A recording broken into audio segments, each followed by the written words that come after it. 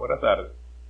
En este video les voy a presentar un tornillo que hice con el programa de, de CAD, de diseño asistido por computadora, FreeCAD, en su versión 0.19, que es la versión de desarrollo. En este momento la, la estable es la 0.18. 18. Y bueno, voy a mostrar lo que hice y para un próximo video, quiero hacerlo pronto, les voy a mostrar, les voy a mostrar cómo lo hice. Si alguien ve este video por ahí y les gusta, bueno, pueden hacer el comentario, a lo mejor me apuro en hacer el otro video.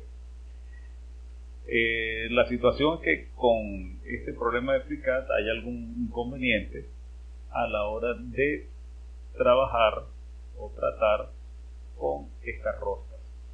Entonces, si voy a hacer algunos acercamientos para que vean, el acabado, fíjense cómo empieza la rosca aquí abajo, ¿sí?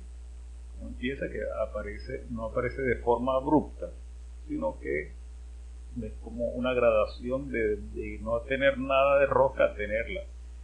Igual para acá. Y además en los dos extremos del tornillo está redondeada. Eh, les voy a decir también, bueno, insisto, aquí me voy a reservar bastante de cómo lo hice y solamente voy a mostrar algunos detalles. Eh, la rosca que tiene este tornillo está hecha según las normas, creo que la norma, no me acuerdo el número de la norma, pero es una norma internacional, está estándar. Eh, fíjense que está redondeado está redondeado, no le quise hacer cabeza este tornillo porque, eh, bueno, no creo que valía la pena para, para, este, para este video. Porque lo difícil de acá, o lo que he encontrado que no, no hacen por ahí, es cómo hacer un tornillo de manera adecuada, un tornillo, digamos, real si tiene una impresora 3D, seguramente que al imprimirlo esto va a quedar según la norma.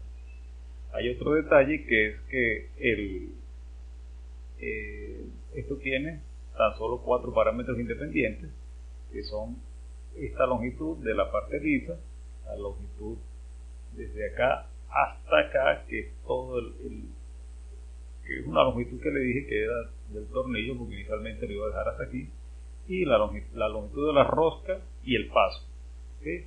El tamaño del paso, que es la distancia entre dos sitios consecutivos. Como que si esto fuera una onda desde aquí hasta aquí, según el eje del tornillo. Bueno, esto es lo que quería mostrarles. Voy a seguir acercándolo acá para que vean el detalle. A mí particularmente me gustó bastante este resultado bien? Bueno, aquí está. Por ahora ese es todo. Si les gustó el video, les sugiero que le den like. Y si no les gustó el video, bueno, denle, denle dislike. Hasta el próximo video que espero hacerlo pronto.